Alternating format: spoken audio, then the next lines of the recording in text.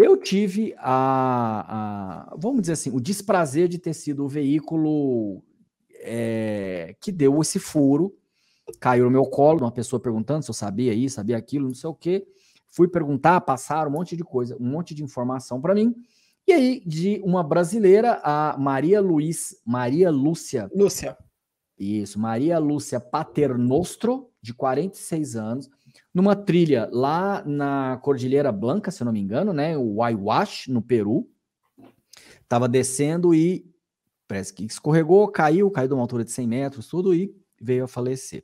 Eu já tive acesso até a, a, nota que a Associação de Guias publicou. Não vou colocar aqui para não ficar estendendo na opção.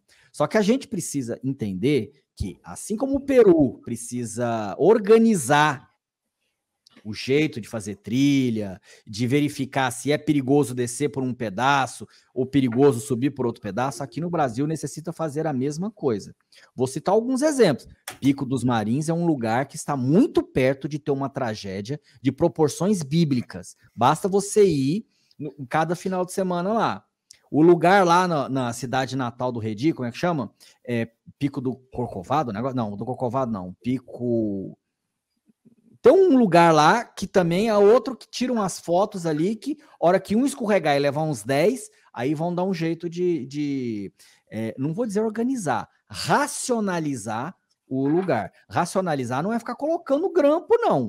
Racionalizar é você fazer aquela coisa ficar segura e frequentada por pessoas aptas a estar e equipadas para estarem ali. Né? Redi, você ficou sabendo desse acidente? O que você, ficou, o que você escutou a respeito dele? Cara, é... eu achava que o sobrenome dela era familiar e tudo, aí eu fui fuçar, né? Ela era do é STJ, né? É. Ela, é. ela era é, assessora de um juiz lá do STJ, né? O Superior Tribunal de Justiça, e ela era irmã de um cartunista aí do Espírito Santo. É, então, assim, eu acho que, eu, é, acho que o nome era. Se, se ela era, tinha parentesco no Espírito Santo, por isso que eu já devia ter ouvido o nome. É triste, né? É, é lamentável. Acho que ela queria fazer uma outra trilha depois longa na Argentina, alguma coisa Sim, assim. Uma trilha de 100 quilômetros. É, é, acontece, por mais que a gente se, é, se precaveja, não sei se o termo está certo, mas por mais que a gente se planeje, é, tem. Acontece, né? Às vezes uma, uma bobeada, parece que essa onde ela caiu, né? Essa ladeira é uma uhum. ladeira muito perigosa e assim, se der uma bobeira, você vai.